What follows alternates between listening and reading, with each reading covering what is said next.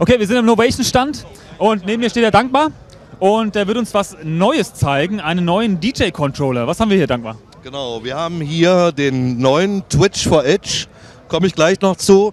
Ähm, DJ-Controller, speziell gemacht für Serato Edge, seht ihr hier auch. Wenn wir mal kurz auf den Screen drehen, ihr seht das, wir haben zwei Decksystem, da läuft gerade eine Platte, da läuft das nächste Stück. Ähm, wenn wir zurückgehen, wir spiegeln im Grunde genommen mit dem Twitch ein Zwei-Deck-System. Klassisch kennt ihr, wir haben zwei Volumes, Deck A, Deck B, Crossfader, aber on top haben wir ein paar Sachen, die brandneu sind. Eine Geschichte würde ich euch gerne kurz zeigen, und zwar ist das der Touchstrip.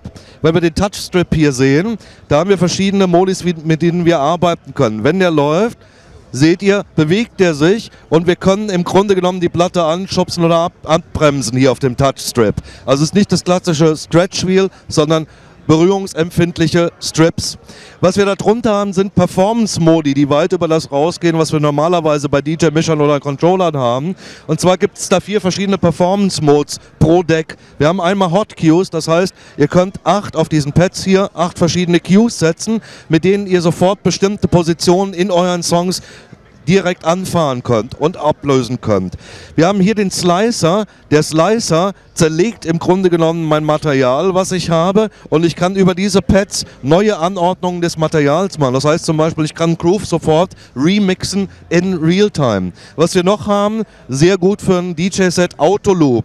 Ihr drückt zum Beispiel einen Takt im Autoloop-Format äh, und es wird sofort absolut rund ein Takt äh, als Loop gebildet. Oder Loop Rolls kennt ihr, diese klassische Geschichte. Man hat zum Beispiel einen Zweitakter und geht runter bis auf Sechzehntel, wo die Sechzehntel dann nur noch irgendwie extrem schnell flangen. Auch das geht entsprechend hier mit.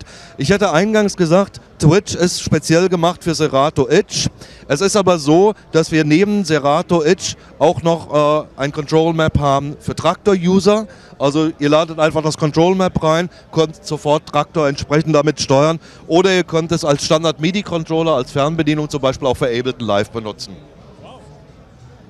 Dafür, dass er mir vorher gesagt hat, er hat zwei Minuten die Finger drauf gehabt, ja, kennt er schon ziemlich gut. und hast dem Gitarristen so erklärt, dass er es verstanden hat. Super. Also, ich wünsche dir eine schöne Messe hey, und vielen, vielen Dank. Ich euch auch.